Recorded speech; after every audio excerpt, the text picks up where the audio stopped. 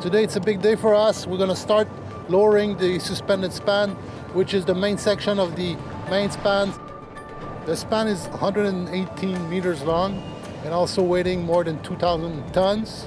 And to do the operation, we're going to use six strand jack with almost 300 steel wires that will be used on both sides so we can lower the span safely and slowly on the barge to then carrying it out later on into the project.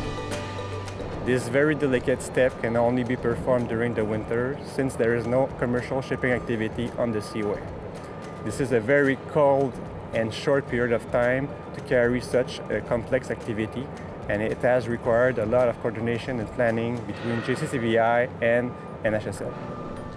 We only have a short window plus minus three months to do the operation so we decided to do it at once and then safely take the span lower out of the seaway so we can perform the work without impacting the navigation channel. Prior to deconstructing the main span, some structural steel reinforcement needs to be done. It is important to preserve the integrity of the steel before descending down on the barge. We have 33 meters to go down, so it's going to be a slow process main operation should take not more than six to eight hours total to, from the startup all the way to the bottom.